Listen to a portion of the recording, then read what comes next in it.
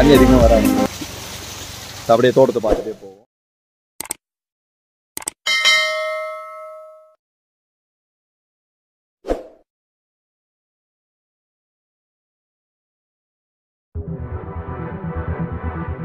அது வந்து ஒரு முக்கியமான விஷயம் என்ன அப்படின்னா ஸோ இந்த ஊட்டி கொடைக்கானல் இப்படின்னு சொன்னாவே நிறைய பேருக்கு ஞாபகம் வரது கிளைமேட் நல்லா சில்லுன்னு இருக்கும். அதாவது வெதர் கண்டிஷன் சில்லுன்னு இருக்கும்.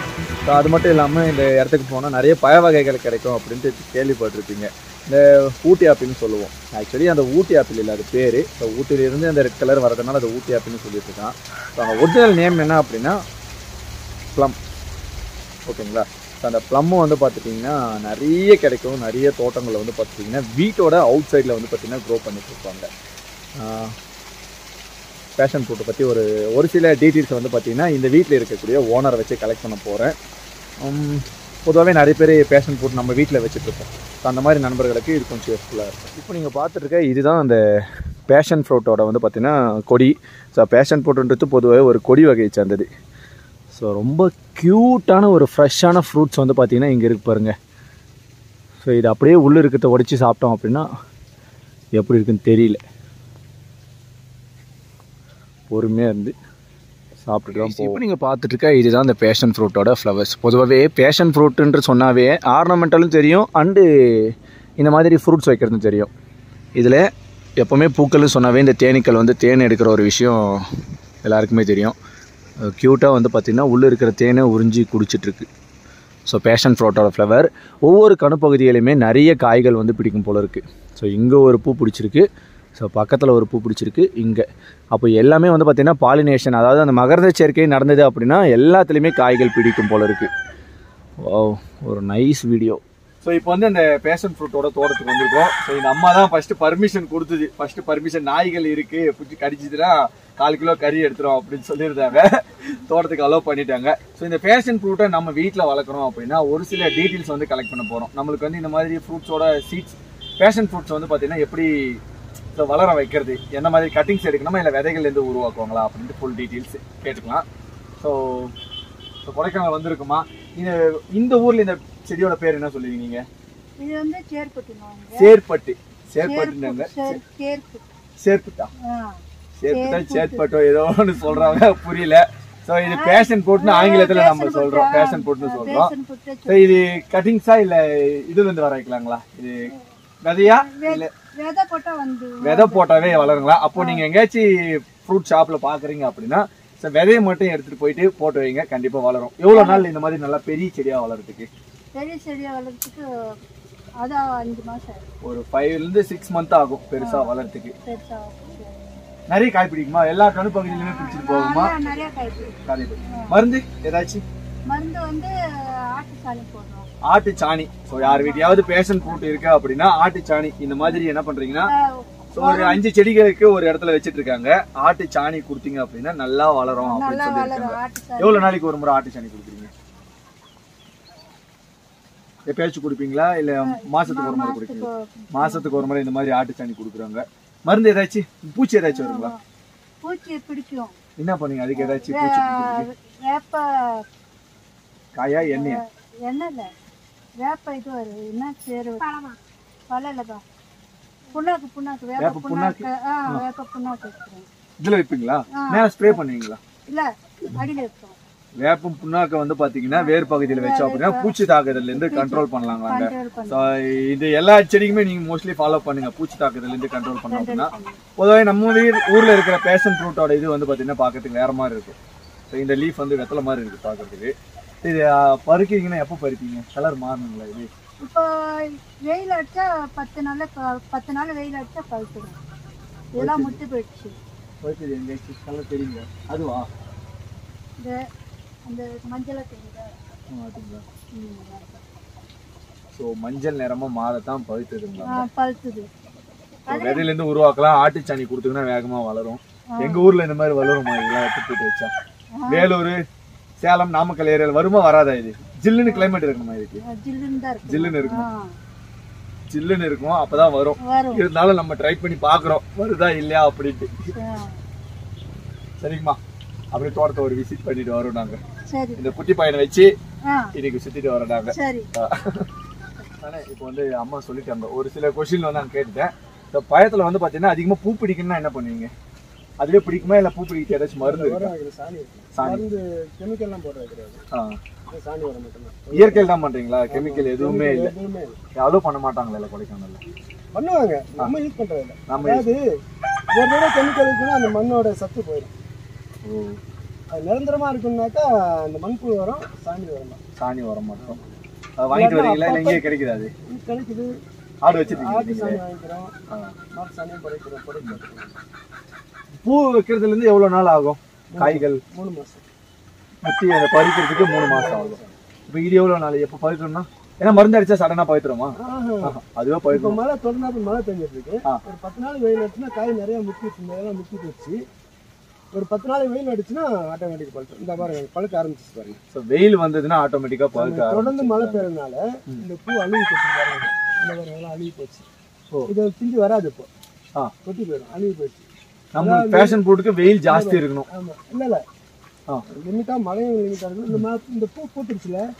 இப்போ ஒரு நாள் காலையில மலர்ந்துச்சு சாயந்தரம் மூடு மூடிடும் மூடும்போது அப்படியே தண்ணி குறைச்சிச்சுன்னா அது அழுகி அழுகி போயிடுது.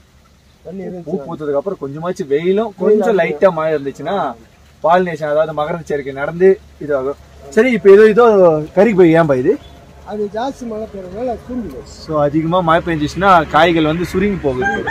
அது ஏதாச்சும் மருந்து அடிச்சு பண்ண முடியுமா? இல்ல மருந்து எந்த மருந்து மருந்து. எதுவும் இல்லை. எதுவும் எல்லாமே இயற்கை. இயற்கை தான் எவ்வளவு கொடுப்பீங்க இங்க? மார்க்கெட்ல எவ்வளவு சேல் பண்ணாங்க ஸ்டார்டிங்ல பத்து ரூபாயில இருந்து பதினோரு ரூபா பன்னெண்டு ரூபா உங்ககிட்ட பத்து ரூபாய்க்கு எடுக்கிறாங்க. நார்மலா வந்து எட்டு ரூபா. ஒரு பழமா இல்ல ஒரு கிலோ? ஒரு பழம் பழமா. அப்போ பரவாயில்ல. நாங்களே கிலோவே எட்டு ரூபாய்க்கு கொடுத்து எங்களுக்கு நிறைய சேல் பண்றாங்களா அதாவது இது வந்து சுகர் ஃப்ரீன்றாங்க அது எனக்கு சொல்லி தெரியாது. இது சரி எதுக்கு சாப்பிடுறாங்க? அது ஏதாச்சும் தெரியுமா? பெரும்பாலும் சுகர் ஃப்ரீன்னு சொல்றாங்க சுகருக்கு சாப்பிடணும்னு சொல்றாங்க. அது நம்ம கன்ஃபார்ம் சொல்ல முடியாது. ஆ. அது நமக்கு தெரியல. நிறைய பேர் கொண்டு வராங்க. இது வந்து பெங்களூரு பூனா அந்த மாதிரி பெங்களூருக்கு அப்படிங்கிற போது எங்க தமிழ்நாட்டுக்குலாம் யார் கொடுக்குறீங்க? நம்ம தமிழ்நாட்டுக்கு. சென்னைக்கு போகுது லோக்கல் வியாபாரத்துக்கு கொடுக்குறோம் நம்ம. எல்லா ஊருக்கும் ஒரே ரேட்டு கொடுப்பீங்களா இல்ல லோக்கல்னா கொஞ்சம் அனுசரிச்சு கொடுப்போம். ஓகே தமிழ்நாட்டுக்கு ஸ்டேட் கேட்குறேன் மற்ற கேரளாக்கெல்லாம் இப்படி எல்லாருக்கும் ஒரே ரேட் தான் கொடுப்பீங்களா? அது ஒவ்வொரு மாதிரி. ஒரு மாதிரி. இப்போ சென்னைக்கு வந்து நூற்றி நூற்றி எண்பது ரூபாய் இரநூறுவா வரைக்கும் கிலோ விற்கிறோம் நம்ம. கிலோ. போட்டு வர்றோம். எத்தனை பழம் போகும் ஒரு கிலோ நிற்குது கொஞ்சம் மழை டைம்னா கொஞ்சம் வெயிட் ஜாஸ்தியாக இருக்கும். தண்ணி கண்டென்ட் அதிகமாகிடுச்சுன்னா பத்து பன்னெண்டு பழக்குள்ள நிற்கும் ம். பெரிய டைமில் பதினாலு பதினஞ்சு. Okay okay. இப்போ காய் வெயிட்டாக இருக்கும். மழை தண்ணி நிறையா இருக்கும். அது உங்களுக்கு தான் நல்லது. ஆமாம் ஆமாம் வெயிட் ஜாஸ்தி வந்துச்சுன்னா உங்களுக்கு ப்ராஃபிட் இருக்கும். நீங்க பாருங்க இதுல மொத்தமா பூ வைக்குதா? எல்லாமே காய் பிடிக்குமா?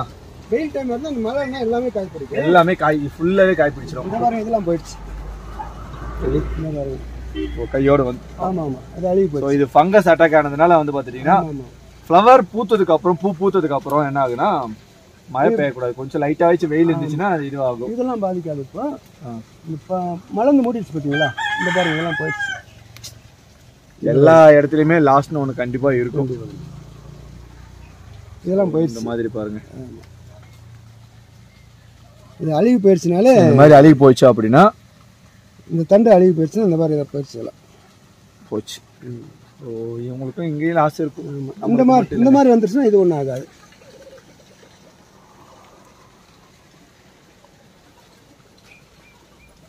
இப்போ இந்த மழை இல்லைன்னா நல்லா காய் நிறையா இருக்கும்.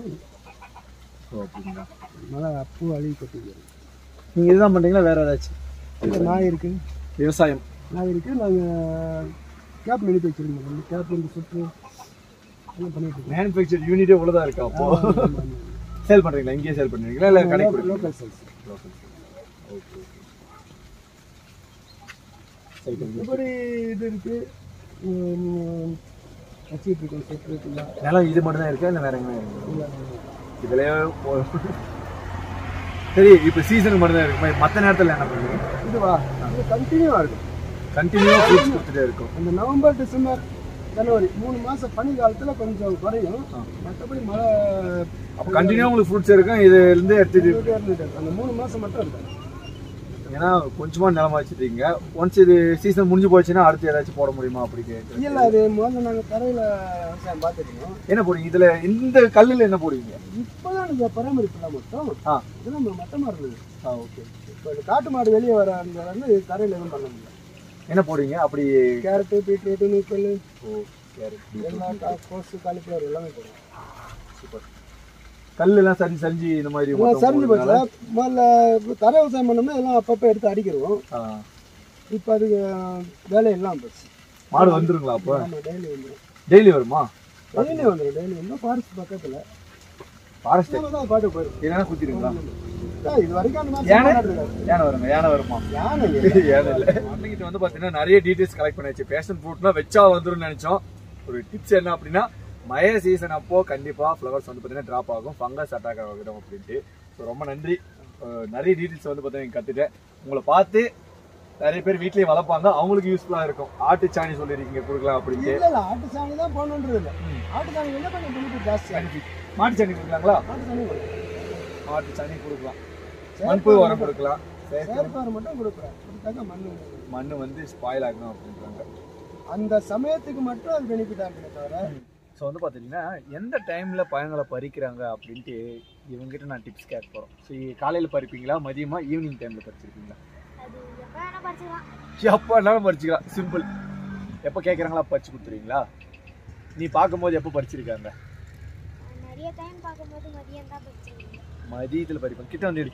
ஆஹ் கொஞ்சம் நம்ம நம்ம கண்ட்ரோலுக்கு வரல. அதனால வந்து பார்த்தீங்கன்னா சவுண்டு கொஞ்சம் கம்மியாக தான் இருக்கும். நல்லா இருக்குமா சாப்பிட்டா? இனிப்பா இருக்குமே இனிப்பாக இருக்குமா? ஒன்று பறிச்சுட்டு பார்க்கலாம். இனிப்பா. பாருங்க. அவங்க கேட்டால் கொடுக்குறாங்களா இல்லை தம்பிக்கிட்ட கேட்டிருக்கேன். ஒரு இனிப்பாக இருக்கிறது பறிச்சுட்டு போயிருக்கான். பார்க்கலாம். அவனு. ரெண்டு பேரும் கிடைக்கிற மாதிரி எடுத்துடாப்பா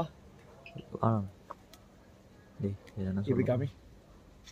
ஸோ வந்து பார்த்தீங்கன்னா பெரியவங்க கிட்ட கேட்டால் கொடுப்பாங்களான்னு தெரியாது. ஸோ அதனால என்ன பண்ணேன்னா குட்டி பைக்கிட்ட கரெக்ட் பண்ணி அனுப்பி வச்சு போயிட்டு எடுத்துகிட்டு வர போயிருக்கான். பாய் எடுத்துகிட்டு வந்து தான் நம்ம சாப்பிட்டு பார்ப்போம். கொடுக்கலனாலும் திருடி திருடிட்டு போ. அப்படிங்களா? ஸோ நிறைய டீட்டெயில்ஸ் வந்து பார்த்தீங்கன்னா இந்த பேஷன் ஃப்ரூட் வந்து நீங்கள் தெரிஞ்சிட்ருப்பீங்க ஏன் அப்படின்னா பேஷன் போட்டுனா வச்சா வந்துடும் ஸோ நம்ம வீட்டில் வச்சா வந்துடும் எந்த கெமிக்கல் உரங்களுக்கு கொடுக்கலாமா? எந்த உரங்களுக்கு கொடுக்கணும்? என்ன ஃபெர்டிலைசர் கொடுக்கணும்? ஸ்ப்ரே பண்ணணும். என்ன ப்ராப்ளம் வரும். இது எதுவுமே தெரியாமல் இருந்திருப்பீங்க. இன்றைக்கி வந்து பார்த்தீங்கன்னா டாப் டு பாட்டம் எல்லாமே வந்து பார்த்தீங்கன்னா அவர் சொல்லிட்டாரு. ஸோ எனக்குமே வந்து பார்த்தீங்கன்னா இப்போ பேஷன் ஃப்ரூட் மேலே ஒரு ஆர்வம் வந்துச்சு இங்கேருந்து ஃப்ரூட்ஸ் எடுத்துகிட்டு போயிட்டு மாடி தோட்டத்தில் இல்லை வீட்டு தோட்டத்துலையோ சீட்ஸை மட்டும் போட்டு நான் க்ரோ பண்ண போகிறேன் ஒரு சிக்ஸ் மந்த்தில் நல்லா பெருசாக வளர்ந்துரும் அப்படின்னு சொல்லியிருக்காங்க. சரி நம்மளும் ட்ரை பண்ணி பார்ப்போம். தம்பி வந்து பார்த்தீங்கன்னா ஒரு பயத்தை எடுத்துகிட்டு வந்துட்டார். ஓகே ஆ பத்திரம். ஸோ படிச்சுட்டு வந்திருக்காரு பாருங்கள் இதுதான் ஃபேஷன் ஃப்ரூட் பொதுவே நிறைய பேர் பார்த்துருப்பீங்க. பார்க்காம இருக்கலாம். எப்படி? அப்படி ஓடிக்கணுமா? வா கவி கிட்ட வா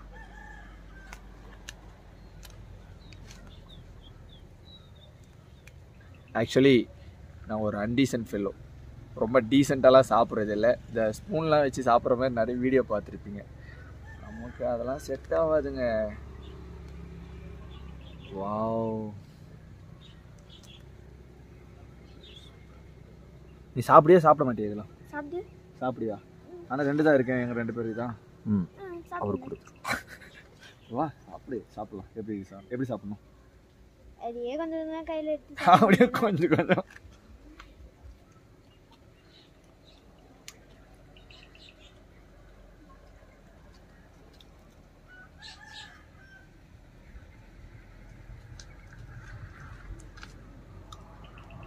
ஃப்ளேவர் சூப்பராக வச்சு.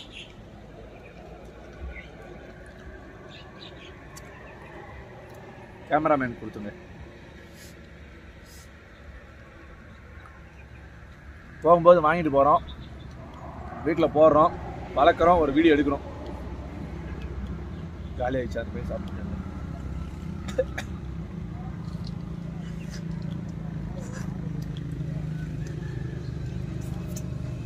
டேஸ்ட் செம்ம.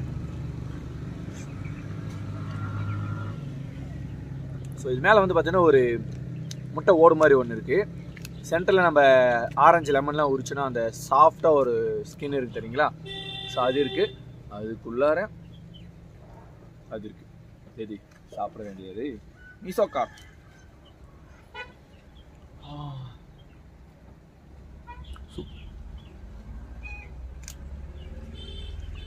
இதுக்கப்புறம் கேட்டால் செருப்படி கொடுப்பாங்க. போயிடுவோம். சிரிக்கிறோம் கண்டிப்பாக கொடுப்போம் நிறுத்திக்கோ lấy rồi đi. Ừ.